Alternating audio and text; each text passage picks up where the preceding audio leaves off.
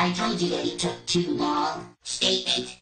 If I'd known Robot Tattoo I wouldn't have had that 32 ounce liquid coolant right before we time traveled.